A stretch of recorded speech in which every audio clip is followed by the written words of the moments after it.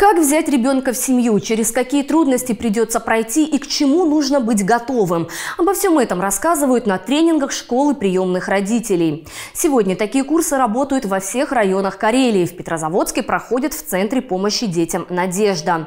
Наш корреспондент Юлия Бараева побывала на одном из занятий, а также встретилась с семьей, которая уже подарила новый дом шестерым детям. Давай. Лешка, а ты помогай Кристинке. Давай, давай. Здесь давай.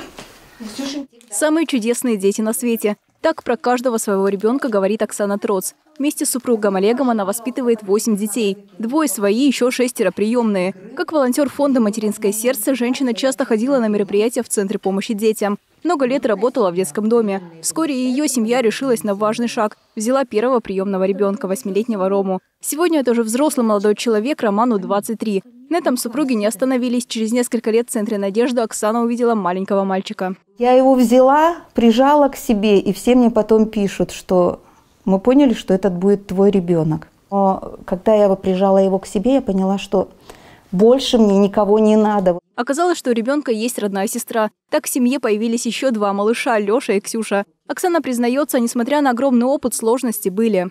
Леха разви, развивался тяжело. Мы хлебнули очень много, он не умел хорошо есть.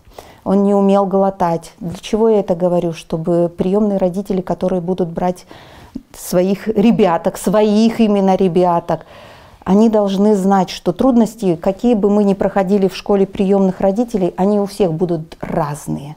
Трудности супруги не испугались. Наоборот, через несколько лет подарили дом сестрам Ариане и Кристине, а позже и самой старшей девочке в семье Саше. Теперь Ариана – гордость родителей, учится на одни пятерки, планирует связать жизнь с медициной. Кристина – главная помощница, а еще творческий ребенок. Даже в день съемок вернулась на рядом платье с концерта. Один э, номер с э, цветами танец – второй э, вокал. О такой большой семье Оксана мечтала всегда. Это вот, вот тот двигатель, который дает нам молодость, который дает нам силы, энергию. И когда ты понимаешь, что вместе с ними ты растешь и совершенствуешься. Я горжусь своими детьми.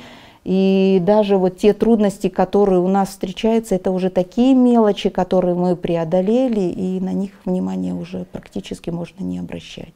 Перед тем, как взять первого сына в семью, Оксана с супругом прошли школу приемных родителей. Сегодня это обязательное условие для всех, кто хочет принять ребенка на воспитание.